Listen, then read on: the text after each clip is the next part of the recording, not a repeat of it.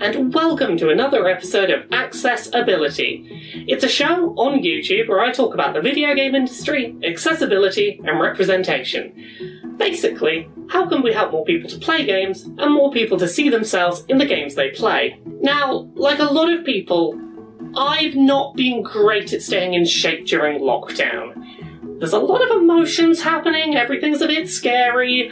Junk food is a very easy way to fix those feelings, and going outside to exercise means going out where the germs are, and uh, it's not great. As a result, as I said, I've been a bit lazy, and I don't think I'm alone in that because during lockdown I've picked up a game again that I think a lot of people have, judging by sales numbers.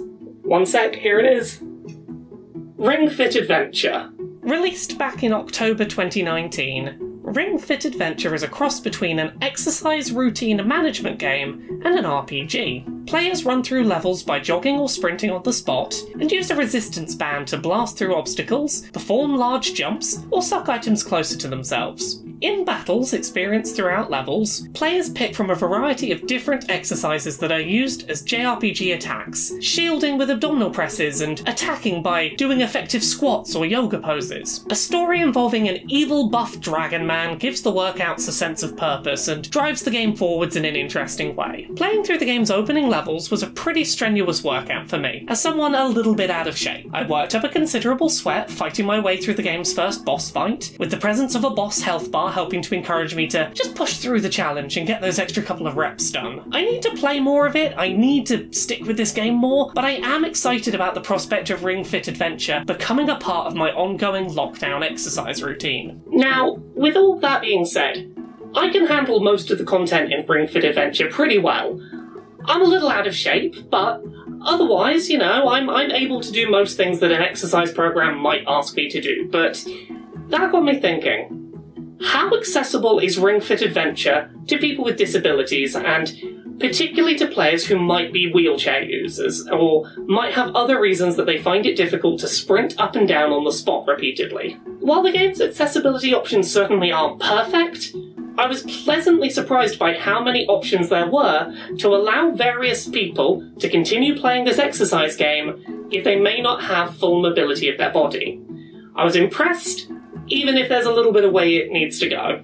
Despite a couple of problems here and there, I was pleasantly surprised to find that Ring Fit Adventure has some good options on show to help people with various disabilities be able to keep playing their exercise game. If you dig into the menus for Ring Fit Adventure, one of the settings you can toggle for your adventure mode profile is assist mode, in which certain muscle groups or body parts can be toggled on or off if you have trouble with them. The assist modes on show include shoulder assist, back assist, ab assist, and assist. The primary one that I'm going to dig into today is assist, as it impacts the largest number of areas of the game, but much the same changes apply to other assist modes. Basically, anything I talk about with assist probably applies to the other assist modes as well if you have problems with your shoulders or your back, for example. So, turning on assist mode and sitting down to play the adventure mode of the game, a few key changes were apparent right from the start. A big part of adventure mode is jogging or running on the spot through environments, and with knee turned on, this aspect of the adventure is completely automated. Your character will jog automatically through environments, sprinting when it's vital to level completion. This means that traversal of the adventure mode is possible for players who, for example, may only have reliable or pain-free use of their arms. Players can still use the resistance band to fire blasts at obstacles, suck in collectibles, and propel themselves off the ground. All of the arm-based world traversal exercises work as intended. One thing that's not ideal about this is that at the end of every level, players have the option to check their heart rate to see how intensive a workout the game deems they've undertaken. Obviously, the game is expecting the player's heart rate to have been elevated in correlation to jogging for several minutes, so users with assist mode active may be ranked by the game as having having had a very light workout. The game doesn't adjust its expectations of what constitutes a strenuous workout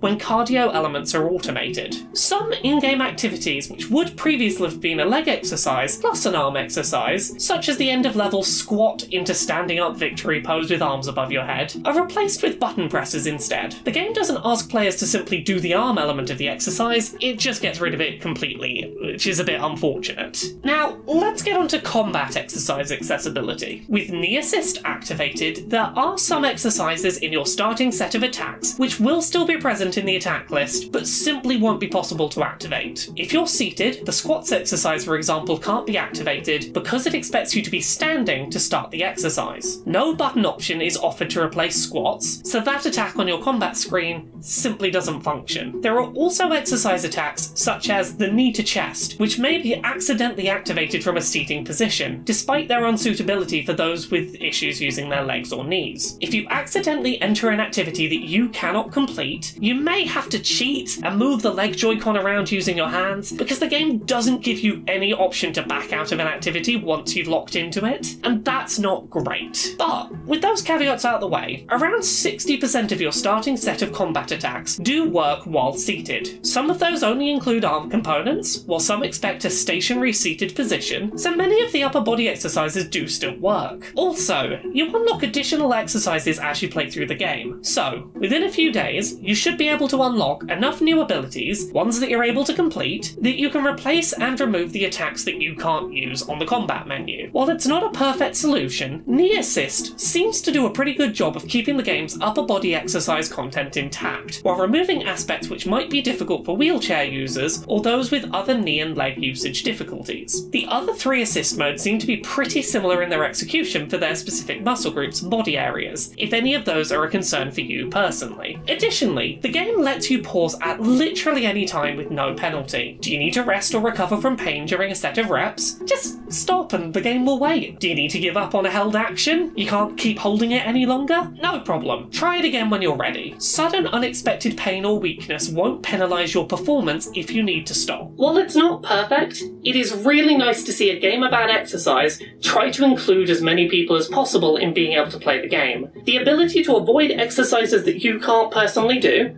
and tailor your workout to exercises that do work for you, does make this more accessible than a lot of interactive exercise media.